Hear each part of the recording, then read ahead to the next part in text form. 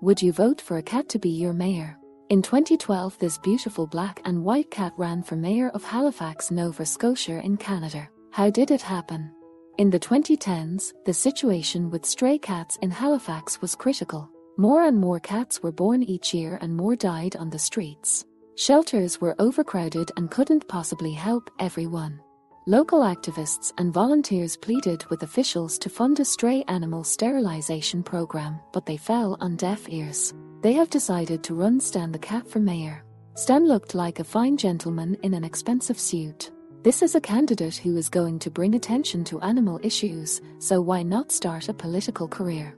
Like many politicians, Stan had a pretty good start in life. His mother was a stray cat who was brought to the shelter when she was pregnant and three weeks later she gave birth to four kittens. When Stan was two months old, he and his brother were adopted into his forever family. His owner was a famous author who loved animals. She already had three cats, two dogs, a guinea pig, and lots of fish in her tank when Stan joined the family. So, as part of a big family, Stan learned to fight for his interests, resolve conflicts, and persuade others. And he was pretty darn good at it. Stan was very lucky. He and his siblings were born in warmth, with proper medical care, surrounded by love. But not all cats are so lucky. Most don't make it to the first year.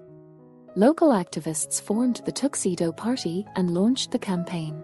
As a good politician, Stan loved attention, posed for pictures, and always wore a suit. The Cat for Mayor campaign quickly went viral, and many people said they would vote for Stan and support his ideas because neglect doesn't work. People reposted Stan's posters and bought merchandise featuring him. The Tuxedo Cat toys were sold out almost immediately. Several celebrities also joined the campaign and began supporting Stan. Among them were Ellen DeGeneres and Anderson Cooper. Of course, Stan could not officially run for mayor because Canadian law required that the candidate have a birth certificate. But it was not all in vain.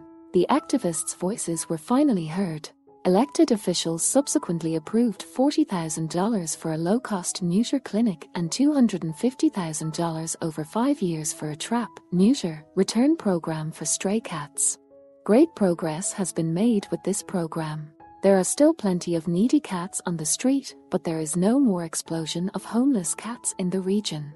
Animal shelters don't turn cats away anymore because there isn't enough space. And all shelters have a strict no kill policy. Sadly, Tuxedo Stan passed away in 2013 from kidney cancer. He was euthanized surrounded by his family, and people honored his memory by continuing all the hard work that Stan helped them achieve. The Tuxedo Party is still active and still fighting for animals in Canada.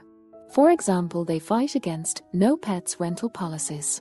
Having a pet greatly reduces a person's housing options, and often people are faced with the terrible choice of having a place to live or getting rid of a pet. Some landlords use no pet policies as a way to evict tenants so they can get around the rent cap and raise the rent for the next tenant. Some people choose to live on the streets rather than abandon a beloved family member. Others are traumatized for life by being forced to give up their pet. It's just not right. We hope the Tuxedo Party wins this battle too. Because they are right, neglect does not work. Rest in peace, Stan. Even though you were only with us for two and a half years, you touched the hearts of many and made the world a better place. If you enjoyed the video, please like and subscribe to the channel, where you will find many more interesting stories.